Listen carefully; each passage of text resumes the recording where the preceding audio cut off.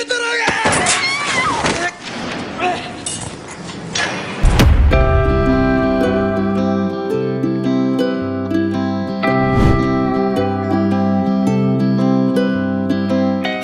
teman-teman Story Nema, mental sehat. Seperti biasa, buat yang baru gabung di sini selamat karena kalian hidup. Kali ini Nema mau ngelanjutin alur Bad Boys G kedua nih men. Tenang, semua link ntar bakal kita taruh di kolom deskripsi deh. Yang jelas, makasih banyak buat penonton setia Story Nema, baik yang udah subscribe maupun yang belum. Jangankan ngasih like, dislike aja loh, Nema udah seneng. Apalagi yang udah berlangganan, karena jatah kerupuk bagimu adalah asupan gizi bagi tim Story Nema. Asik. Dan buat balsemers yang requestannya belum diturutin, sing sabar ya men, permen. Oke, langsung aja lah ya. Tarik napas dalam-dalam dan bumper dulu.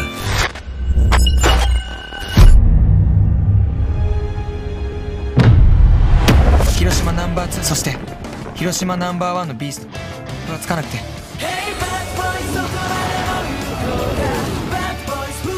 Ngelanjutin part kemarin Setelah pergedebukan dengan genggong kemarin Kini Yoji, Eiji, dan Hisa lagi sibuk ngurusin interview perekrutan member baru Karena seluruh anggota Gokuraku yang lama udah pada resign men jadi sebagai dedengkot Gokuraku, Yoji berniat merekrut personil baru agar bisa mendukung Gokuraku yang kini telah naik menjadi geng terkuat kedua setelah Genggong. Namun sayang seribu sayang, setelah menginterview cukup banyak pendaftar, ternyata mereka bertiga harus menelan kepuyangan lantaran semua pendaftar tadi gak ada yang sesuai dengan visi dan misi Gokuraku. 極悪中最高お前らをトップにしてやるよ極悪中極楽長だよちょっと AV とかやってましたガチホモ系っすここは JT サンダースだろうがで名前はお疲れ様でした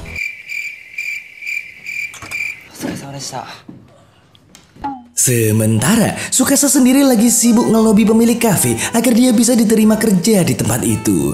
Tapi karena sang pemilik tahu persis kalau niat Sukasa ngelamar kerja di situ cuman biar bisa PDKT sama Dek Kumi, tentu aja langsung nolak mentah-mentah lamaran kerja Sukasa. 桐木司くんねじゃあ最後に自己久美ちゃんと一緒に働きたいからです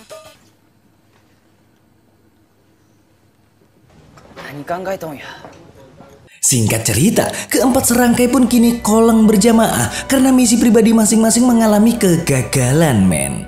Sampai nggak lama, datanglah sesosok dedek gemes menawan hati bernama Deawi yang membangkitkan semangat Sukasa lagi. Karena faktanya, Deawi ini adalah sahabat masa kecil Sukasa. Ngobrol-ngobrol deh tuh mereka. Dalam momen itu, Deawi pun bernostalgia tentang masa kecilnya di mana Sukasa kecil selalu saja dibully oleh bocil-bocil lain. Dan setiap kali dibully, sahabat Sukasa dan Aoi yang bernama Shinichi selalu datang buat menolong dia. Namun suatu ketika, Shinichi yang berusaha menolong Sukasa ternyata kewalahan ngadepin gerombolan tukang bully itu. Hingga Sukasa yang gak tahan ngelihat sahabatnya disakiti pun seketika bangkit dan berubah jadi sosok yang kuat dan tak terkalahkan. Jadi, sejak saat itulah Sukasa mulai dikenal sebagai monster jika melihat orang yang dia cintai disakiti oleh orang lain. Nah, setelah bernostalgia cukup lama, Deawi mendadak buru-buru pamit tuh men. Namun sebelum cabut, Deawi masih aja nyempetin ngajak Sukasa ketemuan lagi. Padahal mending ngajak Cak Seto.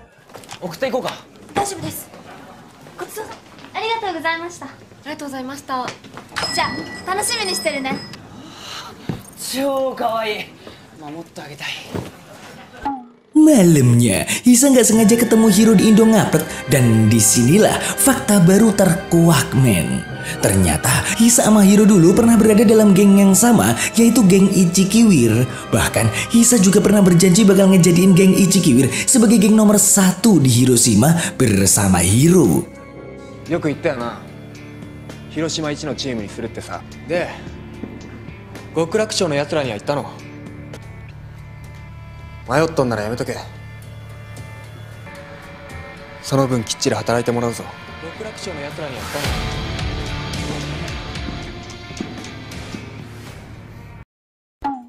Besoknya, Deawi sama Sukasa jadi ketemuan nih ceritanya. Dalam kesempatan itu, Deawi sedikit nggak percaya aja kalau Sukasa bisa sampai dihormati oleh para berandalan. Sementara Shinichi yang dulu berperan sebagai pelindung Sukasa malah jadi bulan-bulanan para tukang bully di sekolahnya. Bahkan Kimi masuk rumah sakit gara-gara berani ngelawan mereka. Dan usut punya usut, ternyata semua itu terjadi karena Sukasa lah yang menyarankan Shinichi untuk berani ngelawan siapapun yang menindasnya, men. あいつちょっとやばいんだよだったらなんで触れてんだその手はよ 待てよ相手は3人だぞ俺を新一に助けてもらった時本当に嬉しかったよ Di tempat lain, Yoji dan Eiji mendapat informasi kalau geng Ichikiwir telah merekrut sosok yang luar biasa strong karena dia mampu menumbangkan enam anggota geng mereka sekaligus. Bahkan karena kemampuannya itu, Hiro langsung mengangkatnya sebagai petinggi geng Ichikiwir. 忘れないでよね 桐木司君は僕がやるんだからね Gak lama, Hisa muncul dengan menyampaikan sesuatu yang mencengangkan, men. Dimana dia berniat untuk mengundurkan diri dari Gokuraku. Seketika, Yuji pun memberikan bogem mesrahnya karena Hisa dirasa udah nambahin masalah baru di saat Gokuraku dalam masalah genting. Dan dengan kepergian Hisa itulah Yuji menduga jika sosok anggota kuat yang baru direkrut di Hiro kemungkinan adalah Hisa.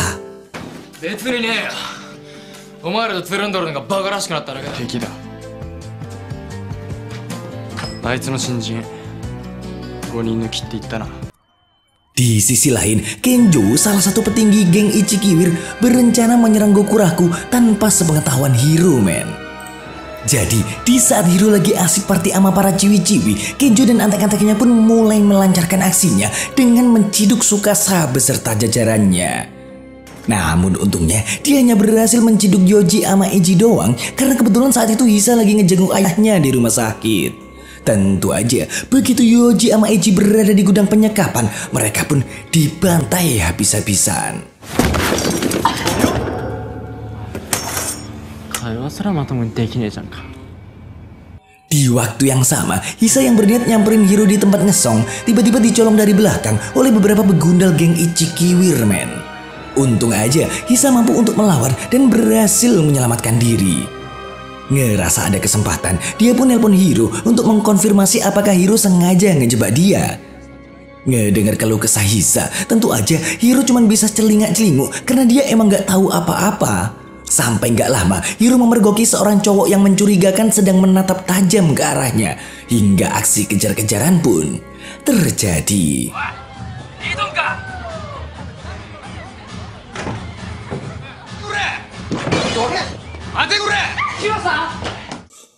Sementara, Sukasa yang baru aja nyampe kafe biasa dapat kiriman foto yang menunjukkan kalau Yoji sama Eiji sedang mereka sekap. Tentu aja, Sukasa pun segera menelpon si pengirim itu namun alangkah terkejutnya Sukasa begitu dihadapkan dalam dua pilihan men. Nyelamatin dua temannya yang ada di gudang atau DAW yang disekap di sebuah pabrik kosong. Dan setelah berpikir dengan penuh kepastian, Sukasa pun segera berlari untuk menyelamatkan sang dedek gemes sahabat masa kecilnya. お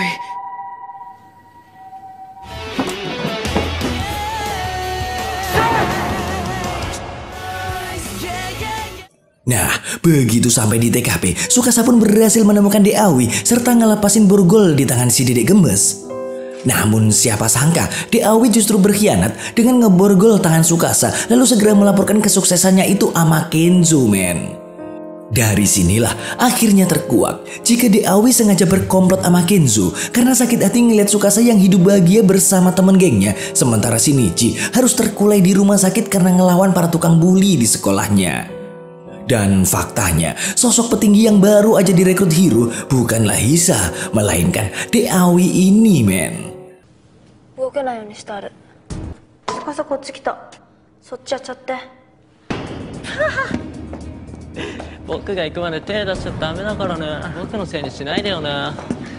Di gudang, Kenzo udah mau ngegibing Yoji sama Eiji pakai meja kondangan. Sampai tiba-tiba Hiro sama Hisa muncul sambil ngelempar cowok yang udah nguntip dia. Seketika, jiwa barbar Kenzo pun langsung kingsut karena rencana rahasianya udah kepergok sama Hiro. Dalam momen itulah, Hisa akhirnya memutuskan untuk tetap setia bersama Gokuraku dan gak jadi pindah ke geng Ichikiwir karena di saat ngejenguk ayahnya di rumah sakit, sang ayah memberikan petuah supaya Hisa mampu untuk mengambil keputusan sendiri. Dan dengan bersatunya keempat jawara, perkedupukan tingkat lanjut pun dipertontonkan. Hiro-san,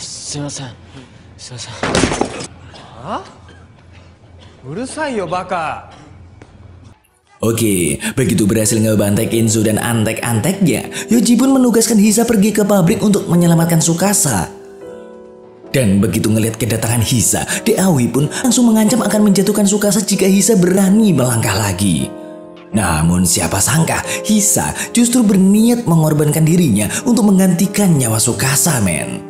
Namun begitu ngelihat Hisa yang udah siap ngorbanin diri, emosi Sukasa pun meledak sampai kemudian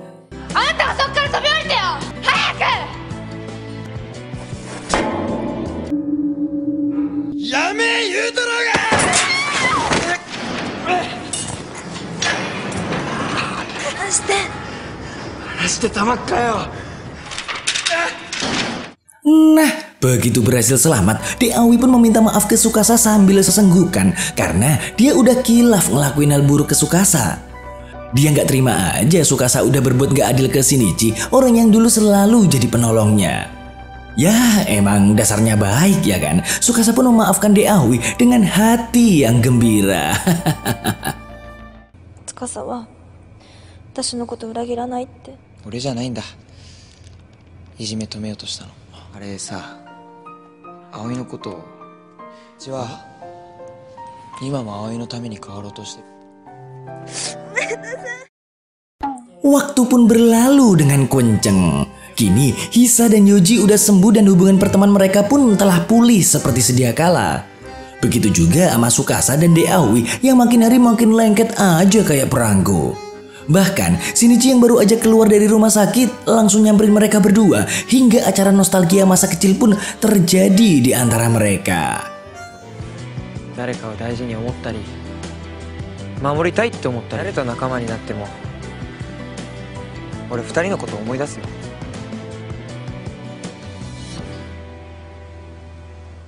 Suatu ketika, seluruh geng di Hiroshima digemparkan oleh berita kembalinya seorang sosok legendaris bernama Namori Yutaka yang dijuluki sang iblis oleh semua gangster karena belum ada satupun manusia yang mampu ngalahin dia.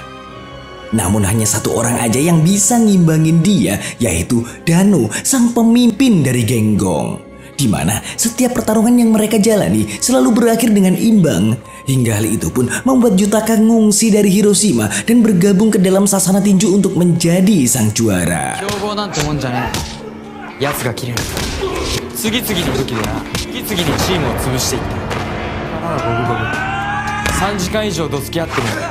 Namun kembalinya Yutaka kali ini terkesan ingin menunjukkan sesuatu ke Danu dengan meninggalkan bekas goresan di wajah anak buahnya.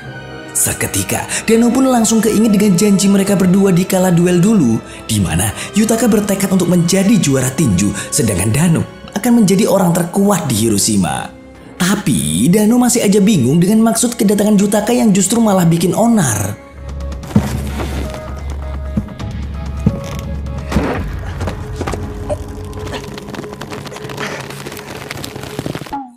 sisi lain, si Kampat Sukasa lagi ngedit sama Dek Kumi nih ceritanya.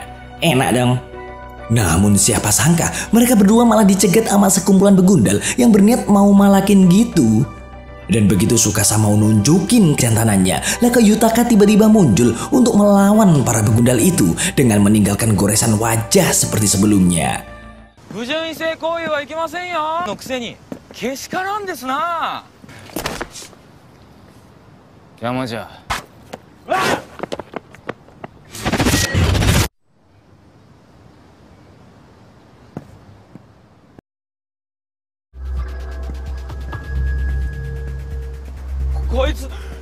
Dan di sinilah awal pertemuan Sukasa dengan Yutaka. Namun Sukasa belum menyadari kalau pria baik di hadapannya itu adalah sosok yang dijuluki sang iblis oleh seluruh anggota geng di Hiroshima.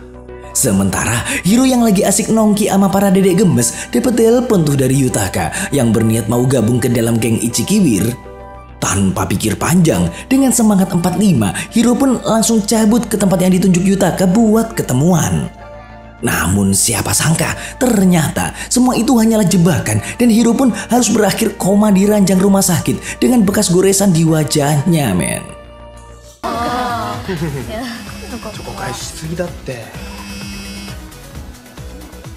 はいもしもし俺と手を組むってどういうことや約束通り一人で来たで Atas kejadian itu, Yoji dan yang lain pun menduga kalau semua itu mungkin ulah Yutaka.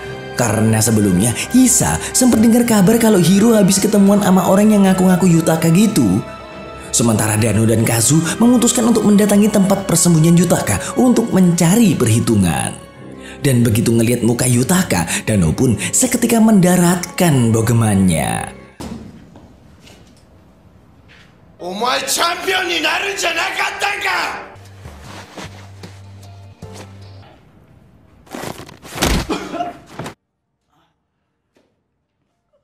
Nande konna tokoro made nigete kita ya?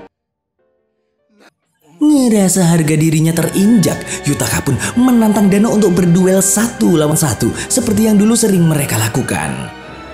Namun begitu mereka udah dalam posisi siap bertukar bogem, lah kok Sukasa tiba-tiba nyerobot sambil nyegah mereka berdua untuk duel men. Karena dia tahu kalau mereka berdua adalah sahabat sepertonjokan yang sama-sama punya ambisi untuk mewujudkan impian masing-masing. Dan karena jurus sok bijak yang keluar dari mulut Sukasa itulah, mereka berdua akhirnya luluh, men.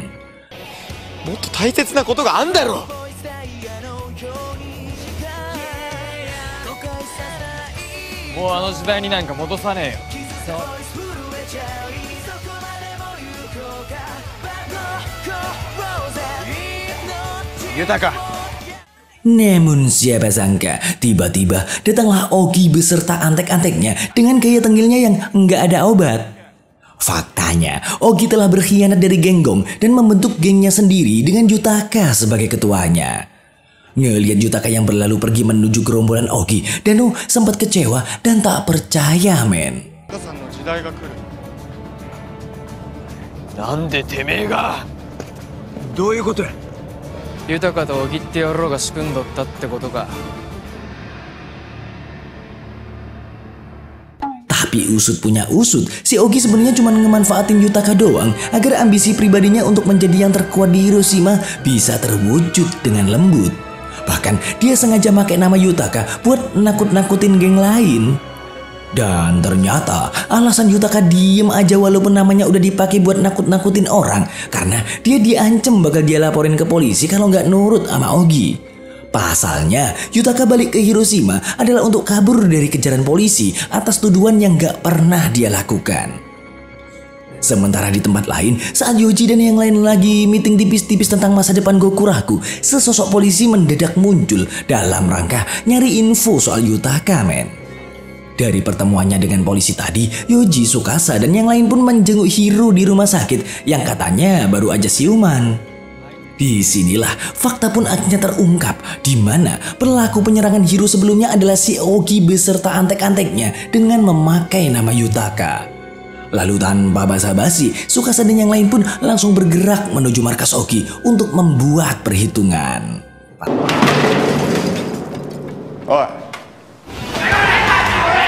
Dan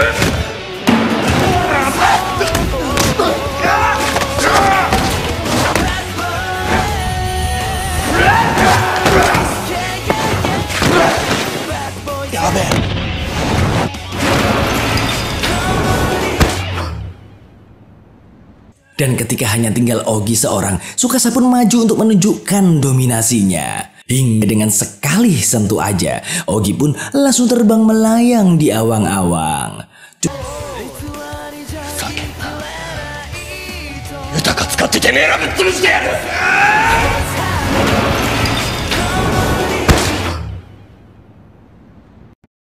Setelah sampai di tempat persembunyian Jutaka, Sukasa pun memintanya untuk nyeritain semuanya tentang kenapa dia bisa sampai jadi buron gitu.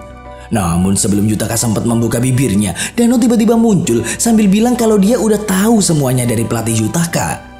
Ternyata sebelumnya Dano sempat nyariin pelatih Yutaka di Osaka untuk mencari tahu alasan Yutaka balik ke Hiroshima. Hingga akhirnya Yutaka pun menceritakan semuanya alasan kenapa dia sampai dituduh sebagai pelaku.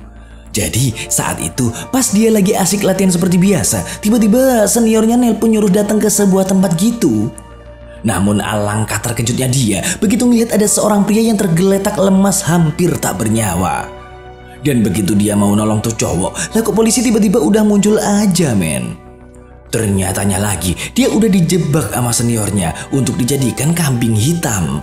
Karena panik dan ngeblank, Jutaka pun akhirnya memilih untuk melarikan diri dan memutusin buat ngumpet di Hiroshima. Soalnya dia bingung mau ngadu atau cerita ke siapa lagi yang mau percaya sama dia. Ngedengar itu, Dano pun menegaskan kalau pada hakikatnya sang pelatih masih percaya dan menunggu Yutaka untuk memberikan penjelasan yang sebenar-benarnya. Dia juga nyerahin sarung tangan tinju Yutaka sebagai bukti kalau sang pelatih emang benar-benar percaya sama Yutaka. Dan ngelihat dua sahabat sepertonjokan itu berkomunikasi dengan penuh makna, Sukasa pun mencuri momen itu untuk mempersatukan mereka kembali.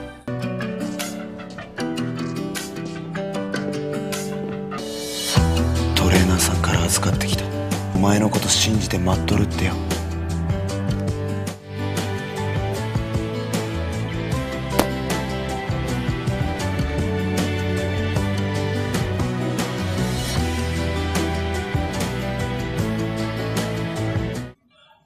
Besoknya, lagi-lagi Pak Polisi yang kemarin nyamperin Joji untuk memberikan konfirmasi kalau Yutaka emang bener-bener gak bersalah. Karena pelaku sebenarnya telah berhasil diringkus oleh polisi. Alhasil, でも岩さん探してたんじゃ左中の案件をベラベラ話すわけはなかろうかじゃいやどこも変わってないっすよ bersambung.